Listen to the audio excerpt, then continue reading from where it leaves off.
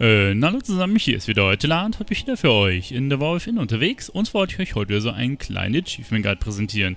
Heute geht es mal wieder um einen Erfolg, den wir finden können unter Quests und dann Wolf in und hier haben wir das Achievement der Salut des Generals. Für dieses müssen wir folgendes machen, schließt die Quest die Entschlossenheit des Generals in Ashkahet ab. Und das ist eigentlich eine relativ schnelle Angelegenheit, es sind tatsächlich nur drei Quests, die ihr erledigen müsst. Bei drei Minuten braucht ihr dafür, vielleicht maximal fünf. Und ähm, ja, das Schwierige in Anführungszeichen ist, einfach die Voraussetzungen freizuschalten. Ihr müsst nämlich beim General auf einen Rufrang von 7 von 9 kommen. Das ist eine Unterfraktion der durchtrennten Fäden. Und sobald ihr das habt, das ist Helfershelfer. Und dann könnt ihr nämlich hier im Nest der Weberin auf den Koordinaten 55, 41 die Quest annehmen. Dazu müsst ihr dann hier in die Belagungsfestung, wie gesagt, drei Quests erledigen, wieder zurück und dann habt ihr euer Achievement. Mehr ist es tatsächlich nicht.